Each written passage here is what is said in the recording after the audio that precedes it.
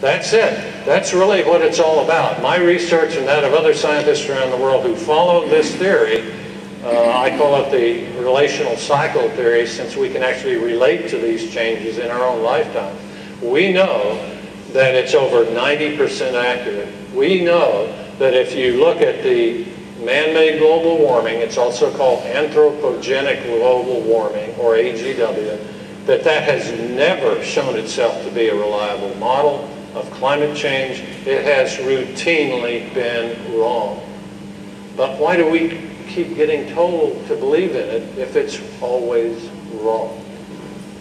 It's because of the politics. It was never about the science. From the very first climate report that came out, it was never about the science. It was always about the politics of global control, implemented through various processes including Agenda 21, including here in the U.S. through uh, presidential policies on sustainable development. It is control over our lives. It's schemes to tax us to death. It is schemes to give the government total control in direct violation of our Constitution. And that is no... Yes. Thank you. Uh, the bottom item on this chart is very interesting. If you look at what these greenhouse gases are, you'll find out the message that we've been given is very different than the reality. We are led to believe through Al Gore, President Obama, and his climate uh, czars that carbon dioxide gas runs our climate. It rules everything, and whatever happens with CO2 determines our future. Nothing could be further from the truth. Water vapor accounts for 95% of all greenhouse gases. The rest of the greenhouse gases, 4.72% of them are natural biological sources. Only 0.28% is man-made. And somehow that has taken over the world. Yes, sir. The water vapor stands to common reason. What happens to the temperature when a cloud passes overhead? What happens when the sun comes up in the morning?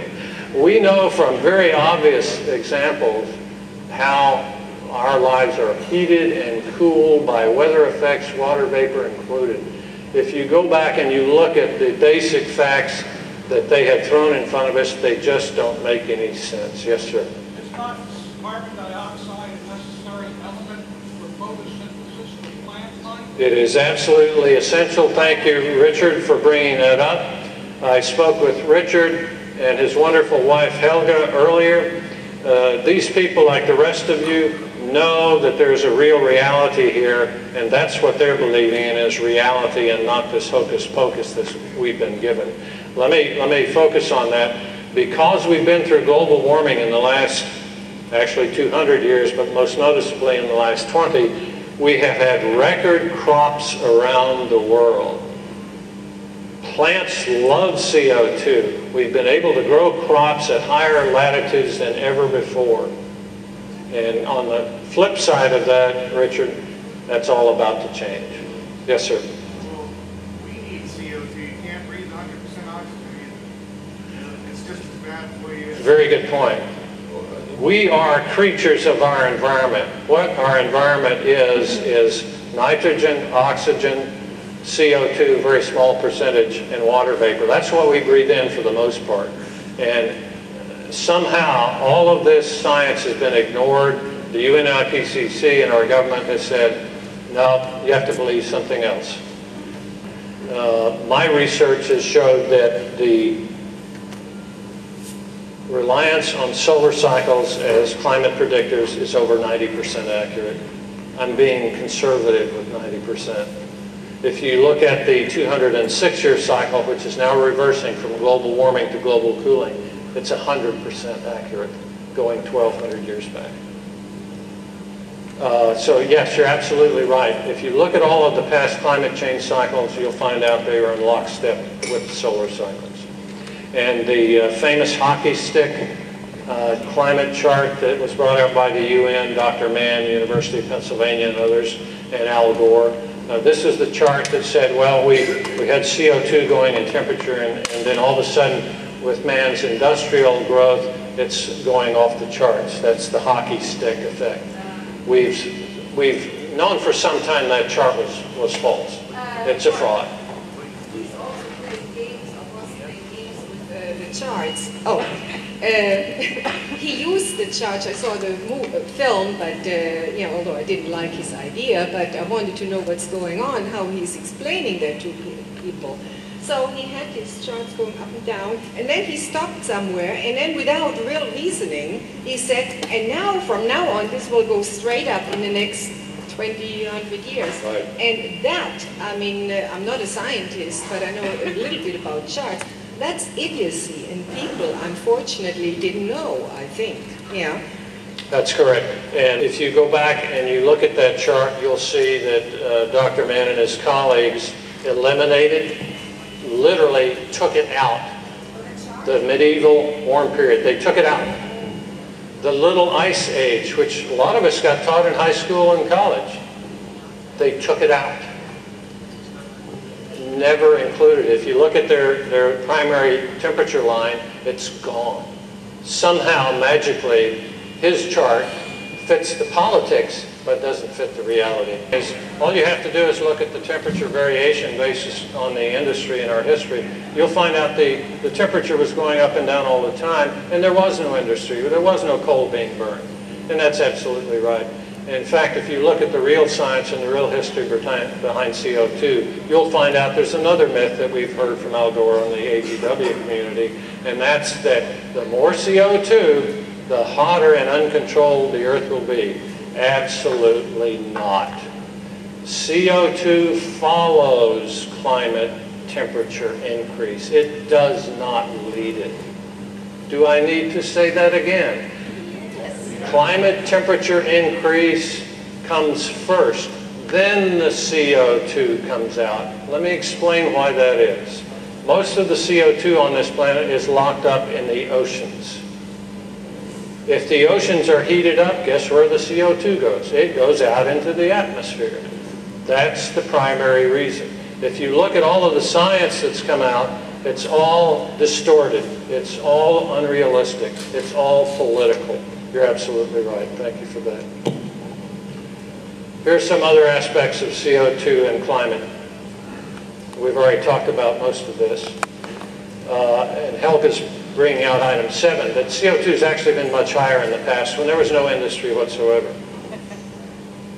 Item eight is really the point that gets debated by most scientists these days that, that do debate whether CO2 has a role, if so, how much. It's called climate sensitivity. In other words, how sensitive is a climate system to a particular chemical or variation of that chemical. What we now know is that climate sensitivity, in order to fit these UN models, was tweaked, was adjusted, was manipulated so that it's unrealistic in its sensitivity. We now know that climate is not very sensitive at all to CO2 above a certain level. And in fact, if you were to double the amount of CO2 in the atmosphere in the next 10 years, it would have a very small increase on temperature increase. Yes, sir. Well, I, I think maybe number five kind of answers my question, but I was going to say, if water vapor uh, is 95% of the effect, and when you measure the size of the surface area and the depth of all the oceans and seas, and compare that against what little water that we control on our country and, and uh, neighboring friendly countries, what is our percentage of uh, effect that, that we can control on global warming? Excellent point, and that's been a major stumbling block to getting the UN's nations to sign up to the Kyoto Protocol, which, by the way, Maurice Strong helped write. We keep seeing these same people creep up, don't we, from time to time. Uh, basically,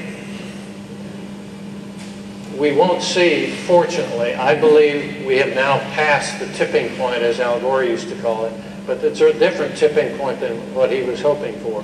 This tipping point is where people say, wait a minute, none of this makes sense. And furthermore, you're not going to tax me to make it sense. Okay? you're not going to take away my property rights to make this sense.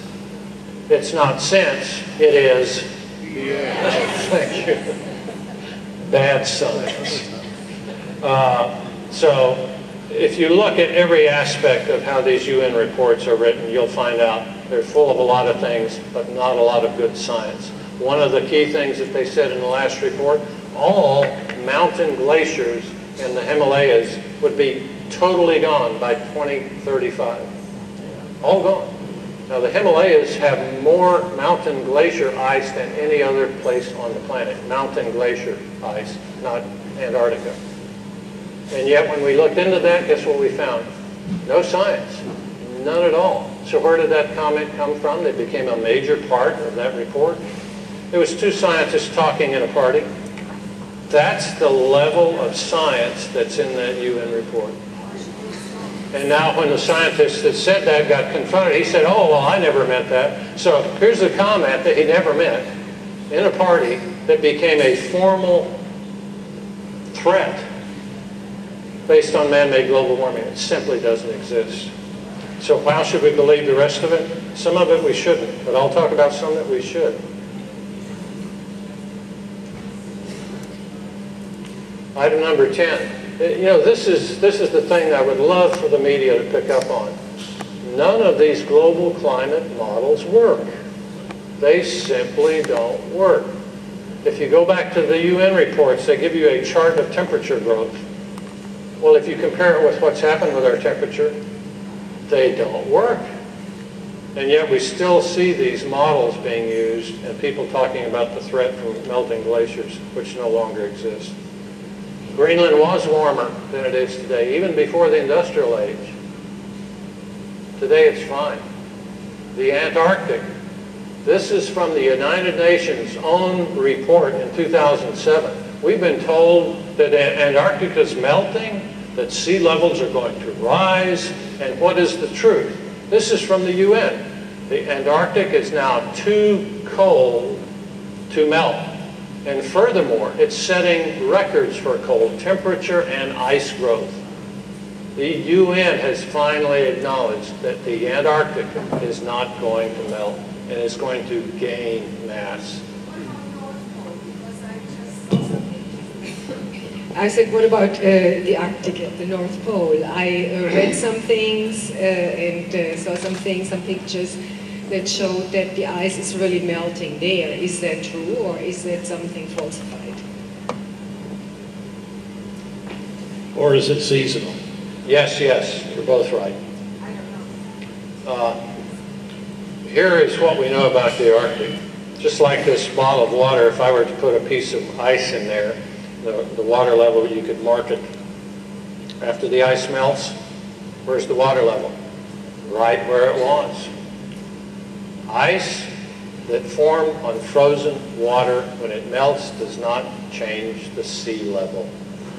I don't care if the entire Arctic ice disappeared tomorrow, the water on the beach would still be where it is today.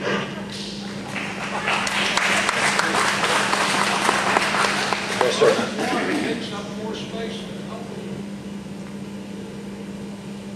We have shown what I've just said is fact. Now, if I talk to Al Gore, what will Al Gore say? He's going to say, listen, we have a big problem with the Arctic melting, but there's no science behind it. There is no science behind it.